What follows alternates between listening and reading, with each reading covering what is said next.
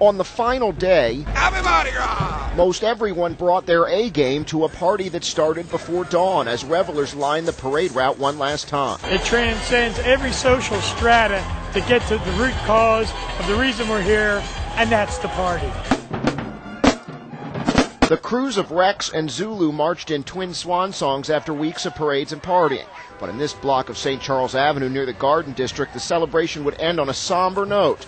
Two teens opened fire on the crowds lining the parade route. The next thing we heard, they were holding a gun out, shooting into the crowd, and we all like ran for cover. Seven were hit in the hail of bullets. No one was killed. Dr. Jim Perry, a surgeon, witnessed the shooting and rushed to help the victims. He kept on asking me, was I shot? Was I shot? I said, yeah, you have a bullet hole. The parade continued as police worked the scene, another sign of the resilience of a city that's grown accustomed to gun violence. We're, the, we're apparently the crime capital. I mean, it's not anything, you know, pretty much every day. There's a shooting every day in New Orleans. Meanwhile, Bourbon Street turned into a sea of alcohol fueled revelers hoping to squeeze every bit of party out of the last few hours of Mardi Gras.